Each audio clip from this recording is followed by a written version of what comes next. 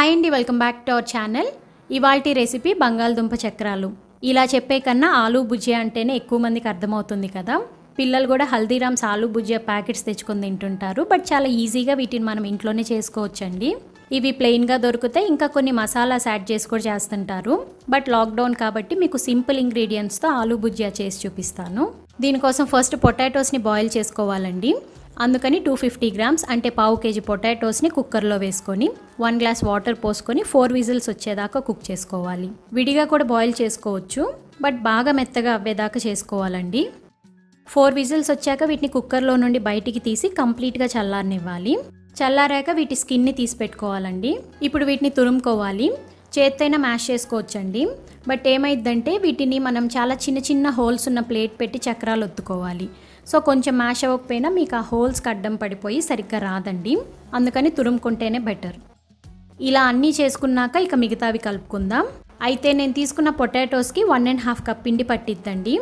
అది మీరు పూర్తిగా శనగపిండి వేసి జస్ట్ ఒక టూ స్పూన్స్ బియ్య పిండి వేసి చేసుకోవచ్చు. అదొక టేస్ట్.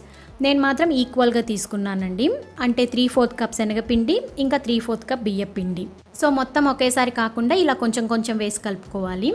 ముందు పావు కప్ శనగపిండి పావు కప్ బియ్యపిండి టేస్ట్కి సరిపడ సాల్ట్ చిటికెడు పసుపు హాఫ్ స్పూన్ కారం హాఫ్ స్పూన్ జీరా powder half spoon chaat masala వేసుకోవాలి.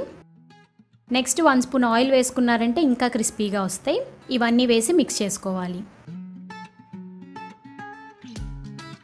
మిగిలిన శనగపిండి ఇంకా బియ్య పిండి కూడా కొంచెం కొంచెం వేసుకుంటూ మన చక్రాల పిండిలాగా కలుపుకోవాలండి. సపోజ్ మీకు పిండి గట్టిగా అయితే కొంచెం వాటర్ చల్లుకోండి. అలా కాకుండా లూజ్ అయితే కొంచెం శనగపిండి వేసుకున్నారంటే సరిపోతుంది. పిండి రెడీ అయిపోయింది కాబట్టి ఇంకా చక్రాలు చేసుకుందాం. ఆలు బుజ్జి అంటే తెలుసు కదా చాలా సన్నగా ఉంటాయి. అందుకని ఇలా కారపూస చేసుకునే ప్లేట్ పెట్టుకోవాలి. ఈ ప్లేట్ పెట్టుకున్నాక ఇందులో సరిపడా పిండిని పెట్టుకొని ఒకసారి చెక్ చేసుకోండి. ఈజీగా పిండి బయటకు వస్తుందో లేదో. బాగానే వస్తుంది కాబట్టి ఇక చక్రాలు చేసుకుందాం. దీనికోసం ఫస్ట్ ఆయిల్ని వేడి చేసుకొని లో ఫ్లేమ్లో పెట్టుకొని చక్రాలు ఒత్తుకోవాలి. ఒకే దగ్గర కాకుండా మొత్తం అంతా స్ప్రెడ్ చేసుకుంటూ వేసుకోండి బాగా ఫ్రై అవుతాయి. మొత్తం వేసుకున్నాక అప్పుడే కదిలివ్వద్దండి. మంటని మీడియంలో పెట్టుకొని ఈ బబుల్స్ మొత్తం పోయేదాకా వెయిట్ చేయాలి. బబుల్స్ స్లోగా తగ్గిపోతున్నాయి కదా ఇలా పూర్తిగా పోయేదాకా ఉండి ఇప్పుడు టర్న్ చేసుకొని రెండో వైపు కూడా ఫ్రై చేసుకోవాలి. ఇలా రెండో వైపు కూడా ఫ్రై అవ్వాక ప్లేట్లోకి తీసుకొని ఎక్సెస్ ఆయిల్ పోయేదాకా ఉంచండి. అన్నిటినీ ఇలా రెడీ చేసుకొని చల్లారనివ్వండి.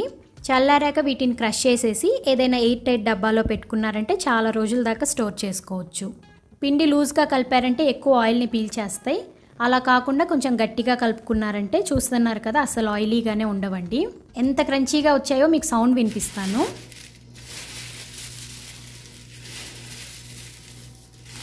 చూసారా సౌండ్ ఎలా వస్తుందో? చాలా క్రంచీగా వస్తాయండి ఇలా చేసుకున్నారంటే. ఇక మీదట ఎప్పుడు ఆలు భుజియా తినాలనిపించినా ఇలా సింపుల్గా చేసేసుకోండి. చాలా రోజుల దాకా స్నాక్స్ చేయాల్సిన పని ఉండదు